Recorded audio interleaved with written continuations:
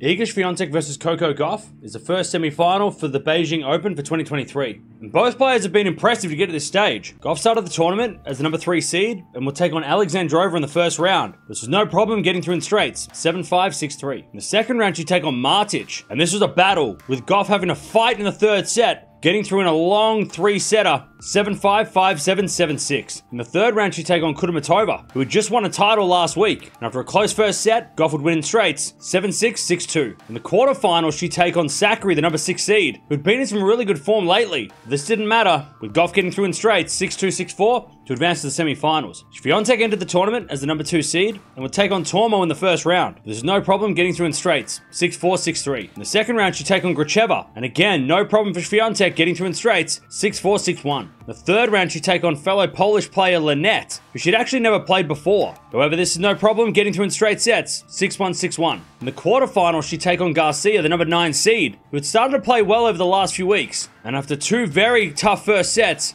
Swiatek would run away with the third, 6-7, 7-6, 6-1, to advance to the semi-finals. These two have played eight times before, with Swiatek leading the head-to-head 7-1. However, Gauff did win their last match, in a close three-setter in Cincinnati a couple of months ago and really gave Gauff that confidence she needed to go on and then win the US Open. If Gauff's going to win this one, she needs to serve well and be aggressive like she was in that Cincinnati match. I think a lot of people forget that that Cincinnati match was actually that really close. Uh, for some reason, it feels like that match was way more one-sided, but it was very close and it came down to the wire. In fact, Swiatek did lead the final set. Gauff had to serve very well and get off to a really good start, win that first set. But Swiatek's going to win this one. She can beat Gauff, so Swiatek really needs to use that confidence and also use that aggressive game because she didn't accidentally win seven out of the eight matches they've played. This is going to be such a fun rematch, of course. Gauff coming back from that 7-0 deficit against Swiatek and finally getting a win. And how is Swiatek going to return after losing her first match against Gauff? I'm going to go with Swiatek in three sets. I think Swiatek